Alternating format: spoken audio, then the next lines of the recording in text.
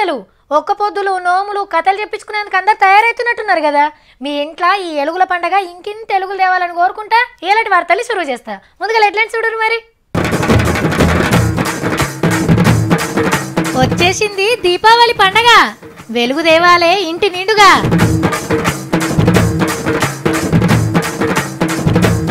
బ్రాహ్మణ బ్యాచిలర్స్ కోసం పథకం. పెళ్ళి చేసుకుంటే మూడు లక్షల సాయం. పాయికాన లేకుంటే కరెంటు కటింగు. ఖమ్మం ఆఫీసర్ల కొత్త ఫిట్టింగు. రేవంత్ అన్నను కలవబోయిన సత్తి నేనంట కాంగ్రెస్ పార్టీలో పోయి కండువ కప్పుకుంటున్నానంట. సన్నాసి దద్దమ్మ నువ్వు చూసినావా? అంటాను అంటలేడు కాబట్టి వచ్చే అవకాశం ఉన్న నాకు? కాకా మా దోస్తు గానికి సంబంధం చూస్తున్నామే మీ ఓడే మీ దాంట్లో ఎవరన్నా పిల్లుంటే చూడరాదు. ఏ పిల్లగాడు బుద్ధిమంతుడు మంచిగా చదివిండు ఇంత భూమి జాగా కూడా ఉన్నది జరంత ఆలస్యమైన సర్కార్ కొలువైతే గ్యారెంటీ కొడతాడు. ఇగో ఇలా దేనికైనా నాది జిమ్మెదారి. ఏందిరా? మా దాంట్లోనా? అయ్యో దేవుడా ఉంటే మా తమ్మునికి ఎన్నడో లగ్గం చేద్దాము. కట్నం ఇవ్వకున్నా పిల్ల దొరికితే చాలని పుస్తే మట్టలు చెప్పించి తయారుగా పెట్టుకున్నా. అయ్యో మీ దాంట్లోనే కాదురా బాబు. మా దాంట్లో అంతకంటే ఎక్కువనే ఉన్నది కరువు. ఇగో ఈ నడుమ చాలా మంది పరిస్థితి ఇట్లనే ఉన్నది మరి. కళ్యాణ లక్ష్మి పథకం లెక్కనే బ్రాహ్మణులకు శ్రీరస్తు పథకం పెట్టిర్రు. పేదింటాడవిల కోసం కాదు బ్రాహ్మణ బ్యాచిలర్స్ కోసం. సాఫ్ట్వేర్ కొలువులు బ్యాంకు జాబులు బిజినెస్లు చేసేటోళ్ళకే పిల్లనిస్తున్నారట. వేదాలు చదివినోళ్ళకు పూజార్లకు పురోహితులకు సంబంధాలే వస్తలేవట. ఇలా నెత్తిలో కూడా నాలుగు అత్యంత లేపిస్తందుకు సర్కార్ అండవర్లు ఉన్న బ్రాహ్మణ కార్పొరేషన్ ముంగట్టుకొచ్చింది. అంటే మూడు లక్షల రూపాయలు మూడు సంవత్సరాలు అమ్మాయి అబ్బాయి పేరు మీద. ఎవరైతే వివాహం చేసుకుంటున్నారో ఇద్దరు ఇద్దరి పేరు మీద మూడు సంవత్సరాల వరకు ఫిక్స్డ్ డిపాజిట్ పేరు చేసే విధంగా ఈరోజు కార్యక్రమం జరిగింది. అర్థమైందా? పూజార్ల లగ్గం చేసుకుంటే పిల్ల పిల్లగారి పేరు మీద మూడు లక్షలు బ్యాంకులో డిపాజిట్ చేస్తారట. మూడేళ్ళైనాక ఈ పైసలు వచ్చే మిత్తి ఆ జంటకే ఇస్తారు. బ్యాంకులు ఇన్ని పైసలుంటే పిల్లనిచ్చిన వాళ్ళకి భరోసా ఉంటదని ఆలోచన చేసిరన్నట్టు ఈ సాయంతోని బ్యాచిలర్ బ్రాహ్మణులందరికీ లగ్గాలు అయితాయో చూడాలే మరి. ఇంటికి కరెంటు కట్ చేసిండ్రంటే కారణం ఏమై ఉంటది? ఒకటి బిల్లు కట్టకపోవడు. రెండు దొంగ మీటర్లు వాడు మూడు ముద్దుగా కుక్కాలేసుడు. లేదంటే ప్రాజెక్టు కింద ఊరు పోతుంది. కాల్ చేయమంటే చేయకుంటే కూడా ఇంట్లో కరెంటు తీసేస్తారు. ఇవేం కాకుండా ఒక తన కరెంటు వైర్లు కట్ చేస్తుర్రు. అది ఎందుకో తెలిస్తే మీ ఫ్యూజులు అవుట్ అయ్యి మీ పెరట్ల జాగా చూసుకొని పలుగుబారు అందుకుంటారు మీరు. ఖమ్మం ఆఫీసర్లు కొత్త ఫోన్ ఒకటి ముంగటేసుకున్నారు. ఇంట్లో ఫైకానా లేకుంటే కరెంట్ కట్టు. అగో వైర్లు ఎట్లా కటింగ్ చేస్తున్నారో చూడండి వద్దు సారు వద్దు అంటాను బతిమిలాన్ని కూడా కటింగ్ కటింగ్ మొత్తం. మంచుకొండ అనే ఊర్లో చాలా మంది ఇళ్ళకు పవర్ కటింగ్ అయింది. బుగ్గలు ఎలుగాయి టీవీలు రావు ఫ్యాన్లు తిరిగాయి. ఇక అప్పుడు దేవుడు అంట అని ఫైకాన్లు కట్టుకుంటారంట అని గీ ఉపాయం చేసిండ్రు. అంతేనా అన్న ఈ రోజు కరెంటు కట్ చేశారు. కరెంటు కట్ చేసుకుంటే ఇప్పుడు ముగ్గు పోసుకొని సాయంత్రం కల్లా ఈ బాత్రూమ్ కట్ చేసుకుంటే లెట్రూమ్ కట్ కట్టుకుంటే మాకు కూడా సాయంత్రం కరెంట్ ఇస్తున్నాను ఏ గారు అగనాట పొద్దుమిక టొరకల్లా కట్టుకొని కరెంటు తెచ్చుకుంటారంట. అందరి ఇళ్ళల్లో టాయిలెట్లు ఉండాలంట అని సర్కారే పన్నెండేళ్ళ లోన్ ఇప్పిస్తున్నది. అయినా కూడా లాఫర్వ చేస్తుండ్రంట. ఇప్పుడు కరెంట్ కటింగ్లతో ఇడిచిపెట్టిండ్రు ఇక రేపు రేపు ఏం చేస్తారో ఈ ఆఫీసర్ అమ్మ చెప్తుంది. గ్రామంలో విద్యుత్ సరఫరా మంచినీటి సరఫరా అదేవిధంగా మరియు పెన్షన్ లబ్ధిదారులను కూడా వాళ్ళ పేర్లు తొలగించడం మాత్రం జరుగుతుంది. వింటున్నారా? నల్ల నీళ్ళు బంద్ చేస్తారంట. పింఛన్లు ఇయ్యరంట. ఇదేదో మంచిగా ఉందంట అని కర్మ ఊళ్ళల్లా కూడా కరెంటు కటింగ్లు పని పెట్టుకుంటారేమో. ఫాయకాన్లు కట్టుకోని వాళ్ళకు ఈ సిసికేస్తున్నారు మరి కట్టుకున్న వాళ్ళకు ఓ నెల కరెంటు బిల్లు మాఫీ చేస్తే మంచిగా ఉంటుండే. తిరుపతి ఎంకన్నను ఆమ్దానీలు ఎవ్వరు దాటేయలేరు. అని అనుకున్నాం కానీ దాటేస్తోళ్ళు ఉన్నారులా. మన యాదాద్రి నరసన్నో భద్రాద్రి రామన్నో యములాడ రాజన్ననో కాదు. రాజకీయ పార్టీలు.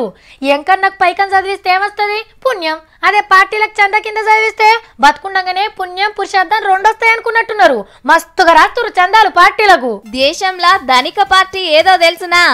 ఇంకెవలు? పువ్వు గుర్తోళ్ళే ఎనిమిది వందల తొంభై నాలుగు కోట్ల ఆస్తులతోని ఫస్ట్ ర్యాంక్ కొట్టింది. దేశంలో ఎక్కువ మంది షెరుకైన పార్టీ కూడా గిదేనట. ఇక షెయి గుర్తోళ్ళకు ఏడు వందల యాభై ఎనిమిది కోట్ల ఆస్తులున్నాయట. మొన్నటిదాకా కాంగ్రెస్ పార్టీ ఫస్ట్ జాగలుంటే అమిత్ షా సార్ వచ్చి అలా పార్టీని ముంగ జాగలకు తెచ్చిండు. ఇక ఏనుగు గుర్తు మాయావతక్క పార్టీకి ఐదు వందల యాభై తొమ్మిది కోట్లు.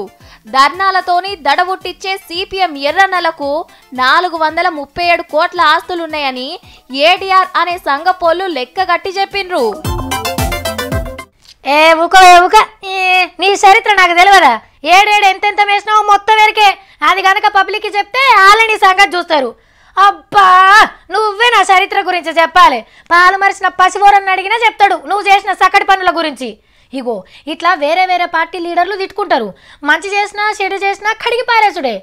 అసొంటిది గీసారేంది గిట్లా మాట్లాడిండు? Modi sir super. పనిలా తోపు ఏలువడిలా గిరేటు. ఓ మస్తు చెమట తీస్తాడు. అయ్యయ్యో మేం కాదు. పాత రాష్ట్రపతి ప్రణబ్ ముఖర్జీ సార్ మాటలివి.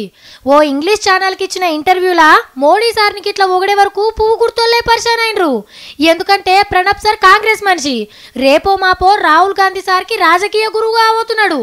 ఈ టైంలో మోడీ సార్ గురించి ఇంత గొప్పగా మాట్లాడితే ఎవ్వలైనా పరిశాన్ అవుతారు కదా మరి. ఏండ్ల సంధి ఎంతో రాజకీయ అనుభవం ఉన్నోడు. ఏ టైంలో ఏం మాట్లాడాలో రాజకీయంలో తెలిసినోడు. అంటే రాహుల్ గాంధీ సార్కి రాజకీయ గురువు అవుడు కంటే మొదలే పొగిడి మోడీ సార్ని సల్లబడేసిండన్నట్టు. ఏ ఏంద్ర మామ ఈ పర్సన్ అరే భయ్ ఇది కాకుండా ఇంకోటి. ఈ జాబ్ కోసమే ఉంటున్నామారా మనం పట్నంలో ఏం దొరకకుండా ఊరికోతా పది ఎకరాల జాగు ఉన్నది. వ్యవసాయం చేసుకొని బతుకుతా. బతుకుడు ముఖ్యంగా ఇదే పని చేయాలని ఏమన్నా రూల్ ఉందారా నచ్చితే చేస్తాం నచ్చకుంటే ఇడిచి పెడతాం ఆయన ఇదేమైనా గవర్నమెంట్ జాబారా మానేస్తే ఎట్లా అని బాధపడుతందుకు? ఇగో ఇట్లా డైలాగులు కొడుతుంటారు కొందరు.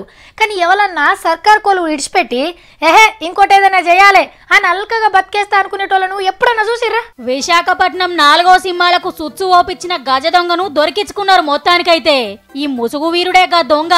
అగో బంగారి నగలు ఉంగురాలు ఎండి వస్తువులు మస్తుగా కొట్టేసిండు మందిండ్లల్లా ఏడగింత ఆధారం దొరకకుండా దొంగతనం చేసుడు మనోని ఇష్టైల్ అన్నట్టు మరి గింత ఇకమ తేడికెళ్ళొచ్చిందో తెలుసునా? Eighty nine batch constable.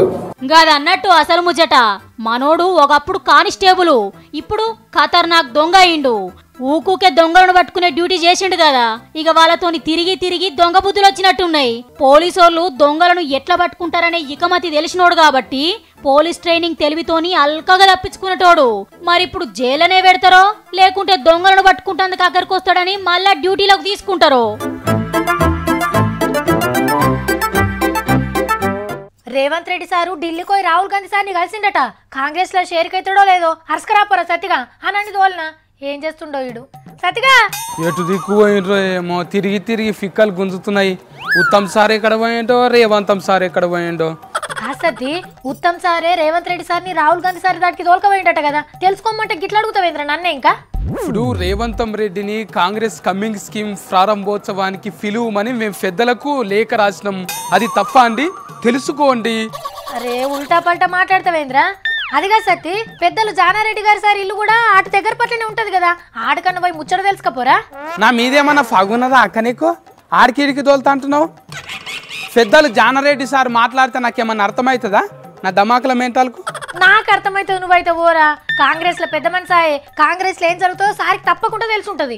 భారతదేశంలో ఎవరైనా దృఢ సంకల్పంతో మార్పు అన్నది కోరుకోవటంలో అభద్రతా భావానికి లోనవుతున్నప్పుడు సంకల్ప బలాన్ని పెంచుకున్న కొద్దీ దేశ ఔన్నత్యాన్ని చాటడం లోపట ఏంరా నేనేం అడుగుతున్నా? నువ్వేం మాట్లాడుతున్నావు? నీకేమన్నా అర్థమవుతుందా ఇప్పుడు మీరు ఒకటి అర్థం చేసుకోవాలి. అర్థమయ్యేటోళ్ళకి చెప్తే ఏమన్నా అర్థం అయ్యేటట్టు చెప్తాం. కానీ అర్థం కాని వాళ్ళకి ఎన్నిసార్లు చెప్పినా కూడా అర్థం కానప్పుడు మనం ఏం అర్థం ఫర్థం లేకుండా మాట్లాడలేం కదా. కాదు సత్తి జానారెడ్డి సార్ సిఎల్పి నేత కదా. రేవంత్ రెడ్డి సార్ కలవనీకి పోయి ఉండొచ్చురా. నువ్వు తెలుసుకో దాని గురించి. ఒక్క నేను అయితే అక్కడ దిక్కో నాకు అక్కడ మస్తు మంది పోలీసులు ఉంటారు తుఫాకులు పట్టుకొని. వాళ్ళకి అర్థం కాక నన్నేమన్నా అంటే ఎట్లాక? సరే. మరి కోదండరాం సార్ దగ్గర కన్నా పోయి రావద్దా? సారి నడుమ రాజకీయంలో బాగా తిరుగుతుండు. సార్కి ఏమైనా నేర్కుంటదేమో ఇక కోదండ రామ్ సార్ ఇంటికి అయితే పోయే పరిస్థితి లేదు. అడా ఏరే ఏరే పోలీసులు వచ్చి ఉన్నారు. అమ్మో నేను పోతే ఆయనతో నన్నారాస్తు చేస్తారు. ఏరే పోలీసులేంద్రా? కోదండరాం సార్కి తెలంగాణ రాజకీయాలు మొత్తం తెలిసే ఉంటుంది సత్తి ఇప్పుడు ఏదైతే కాంగ్రెస్ పార్టీ చిత్తశుద్ధితో వ్యూహరచన చేయటంలో భాగంగా ప్రజాస్వామికంగా. అసలు రేవంత్ రెడ్డి సార్ కాంగ్రెస్లో చేరికైతాడా లేదా? అది తెలుసుకోరా బాబు అందరు అట్లనే మాట్లాడుతుర్రీడా? ఉత్తమ్ సారు ఢిల్లీ పెద్దలను రాహుల్ గాంధీని సార్ని కలిసి నో కామెంట్ అంటాను అన్నాడు కాబట్టి వస్తాడు రాడంటా అని కన్ఫర్మ్ చేయలేరు. అందుకే రా రావచ్చు. ఏంద్రా నువ్వు? అన్నిటికీ ఏదో ఒకటి చెప్తున్నావు. అసలు రేవంత్ రెడ్డి సార్ ఏమనుకుంటుండు? నేనంట కాంగ్రెస్ పార్టీలో పోయి కండువ కప్పుకుంటున్నానంట. సన్నాసి దద్దమ్మా నువ్వు చూసినావా? అంటాను అంటలేడు కాబట్టి వచ్చే అవకాశం ఉన్నది నాకు? ఏమో నాయన ఏదో ఒకటి చెప్తున్నావు తప్పితే అసలు ముచ్చట చెప్తలేవు. అసలు కాంగ్రెస్లకు రేవంత్ సార్ వస్తే టీడీపీ పరిస్థితి ఏందిరా? ఇక టీడీపీలు ఉన్న రమణ సారు సండ్ర సార్లు మస్తు సంకలు గుద్దుకుంటుండొచ్చు అక్క. కొంచెం బాధ కూడా పడుతుండొచ్చు. మరి తెలంగాణలో టీడీపీ పార్టీకి రేవంతం సారే దిక్కని అందరు అంటారు. మరి వాళ్ళు ఎందుకు సంబరపడతారు కాంగ్రెస్లో పోతే? ఆ రేవంతం సార్ ఉన్నప్పుడు అయితే ఆయన ఒక్కడే మాట్లాడుతుంటాడు. మైకుల ముంగల మాకు అవకాశమే ఉండదు అంట అని బాధపడతారు కదా అక్క. ఇప్పుడు కూసి పడతారు నువ్వేం చేస్తావో నాకు తెలియదు రేవంతం సార్ని కలిసే నువ్వు ఆఫీస్కి రావాలి. సరేనా? జానరెడ్డి సార్ చెప్పిన బాగుబలి రేవంతం సార్ అంట అని తెలిస్తే కాంగ్రెస్ పార్టీలు ఉన్న కత్తాఫలు కత్తి పట్టుకొని ఉరికొస్తే ఎట్లా? ఏమోనుల్లా. పరిస్థితి చూస్తే రేవంత్ రెడ్డి సార్ కాంగ్రెస్లో షేర్కి అవుతాడని అనుకుంటున్నా. నేను మావుని అడిగి తప్పు పని చేసిన. ఆడికి తెలిసింది ఆడేదో చెప్పిండు. అవునక్క రేవంతం సార్ కాంగ్రెస్ పార్టీలోకి వస్తే మళ్ళీ ఉత్తమ్ సారు? ఉత్తగానే ఉంటాడా? నేను పట్నం వచ్చిన ఫస్ట్ లా పటాకుల పండుగ జరిగేది కదా. ఓ తెల్లారేదాకా మోతే మోత. అవి ఓ బాంబులోట చైనాయి. చిన్నగా మోగకపోయేటి అవైతే. చెవులలో ఇంత దూది పెట్టుకొని వండుకున్నా బాగుండు అనిపించేది పొదుగాల్లో ఒక్కొక్కళ్ళు ఇంటి ముంగట చూస్తే ఇంతమందంతో టపాకుల చెత్త కనబడేది. ఎన్ని కోట్ల రూపాయలు కాల్చి పడేద్దురో ఏమో ఒక్క రోజులా. అయితే తాపకింత తగ్గినట్టు అనిపిస్తుంది. మరి ఈ తాప ఎట్లా జరుగుతుందో? చూడు అంత తుసు తుసే ఉన్నది పో. ఏ దుగ్నం కాడ పటాకులు వెళ్తలేవు?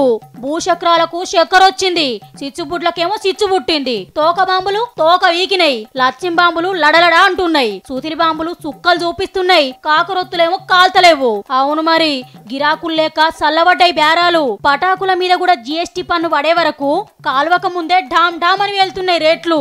ఒక దిక్కు వాన పడుతుంది ఒక దిక్కు జిఎస్టీ ఎఫెక్ట్ అని ఇంకో దిక్కు పోలీస్ పర్మిషన్ రాలేదు మాకు. మునుపు నూరు రూపాయలకు దొరికితే ఇప్పుడు నూట యాభై అయిందట.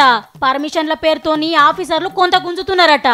ఆ పైకం కూడా రేట్లలో కలుపుడేనాయే ఇక పటాకులు గాలిస్తే వాతావరణం ఖరాబ్ అవుతుందని అట్లా కొంత ప్రచారం చేయబట్టిరి. మొత్తానికైతే ఈ దీపావళికి పటాకుల మూత తక్కువనే ఉండేటట్టున్నది. మొన్న మనం బతుకమ్మని గిన్నిస్ రికార్డులకు ఎక్కిస్తేందుకు ప్రయత్నం చేసినాం కదా. ఇట్లనే ఉత్తరప్రదేశ్లో దీపావళిని గిన్నిస్ బుక్లకు ఎక్కిస్తేందుకు ఒక కార్యం పెట్టిర్రు. మరి అది ఎట్లా జరిగిందో అరుచుకుందామా చలో చూసేద్దాం పారి. గాలి మోటార్ దిగింది. ఎవలో పెద్దోళ్ళే వస్తున్నట్టున్నారు. కెమెరాలన్నీ రెడీగా పెట్టిర్రు. రైట్ డోర్ తీసిండ్రు. ఎవరు దిగుతారో మరి?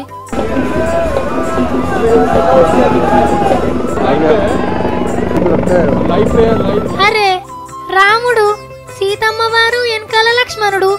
ముగ్గురు కలిసి గాలి మోటార్లు వచ్చిర్రు. పెద్ద భక్తుడు సీఎం యోగి సార్ వచ్చి దేవుళ్ళని ఎదుర్కొన్నాడు. దండలేసి దండం పెట్టి స్టేజ్ మీదకి తోలుకవైండు భగవాన్ శ్రీరామ్ మా జానకి లక్ష్మణ్ జీ భగవాన్ జీ భరత్ జీ సుగ్రీవ్ జామవంత్ విభీషణ్ రామాయణం చూస్తున్నట్టే ఉంది కదా? ఉత్తరప్రదేశ్ అయోధ్యలా దీపావళి పండుగను ఇట్లా చేసుకున్నారు. అరణ్యవాసం అయిపోగానే అయోధ్యకు పుష్పక విమానంలో వచ్చి పట్టాభిషేకం చేసుకున్నాడు కదా రాముల వారు సేమ్ అట్లనే చేసిండ్రు అన్నట్టు అటెంక సరయు నది ఒడ్డుకు లక్ష డెబ్బై వేల దీపాలు ముట్టించారు గిన్నిస్ బుక్లకి ఎంత ముద్దు కొడుతున్నాయో చూడురి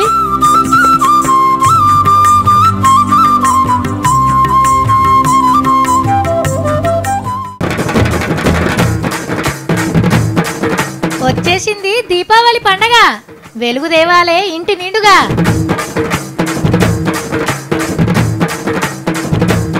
బ్రాహ్మణ బ్యాచిలర్స్ కోసం పథకం.